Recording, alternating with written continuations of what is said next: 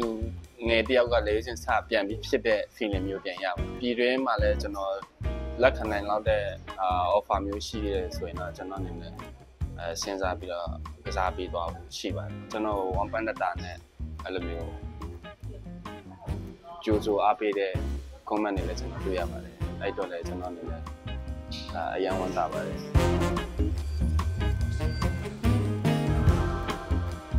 မင်္ဂလာပါ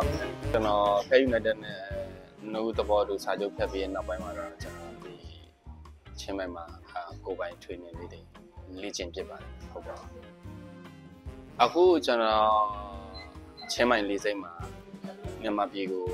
ဒီမြန်မာလူချင်းအတင်းနဲ့ join မှုအတွက်ကျွန်တော်လေးစောင့်နေပါတယ်ဟုတ်ကဲ့အာခံစားရတဲ့ feeling ကတော့ကစားသမား အတစ်တယောက်အနေနဲ့ပုံစံမျိုးပေါ့နော်စပြီးတော့လဲစဉ်ဖြစ်ပြီးတော့အဲ့လိုမျိုးအဲ့လူငယ်တယောက်ကလဲစဉ်စပြန်ပြီးဖြစ်တဲ့ feeling မျိုးပြန်ရပါတယ်ဟုတ်ကဲ့ကမ်းလက်နဲ့တင်းချိုးတော့တော့ရှိပါတယ်ဒါပေမဲ့အဲ့လိုမျိုး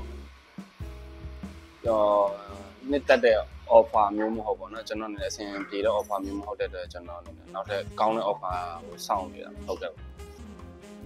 အာဟုတ်ကဲ့ပါပြည်တွင်းမှာလည်းကျွန်တော် လက်ခံနိုင်လောက်တဲ့အာ offer မျိုးရှိရဲဆိုရင်တော့ကျွန်တော်အနေနဲ့အဲစဉ်းစားပြီးတော့ကစားပေးသွားဖို့ရှိပါတယ်ဟုတ်ကဲ့ပါကျွန်တော်စိတ်ဝင်စားလို့ကမ်းလှမ်းခြင်းနဲ့ဆိုရင်ဒီ CHM ငါနေပြီးတော့တိုက်ရိုက်စာချုပ်ကိစ္စပြီးတော့စစရရအကုန်လုံးတိုက်ရိုက်ဆက်သွယ်လို့ရပါတယ်ဟုတ်ကဲ့ပါကျွန်တော် one point data နဲ့အဲ့လိုမျိုးကြိုးစိုးအားပေးတဲ့ comment တွေလည်းကျွန်တော်တွေ့ရပါတယ်အဲ့တော့လည်းကျွန်တော်အနေနဲ့ အာအယံဝန်တာပါတယ်ဟုတ်ကဲ့ပါ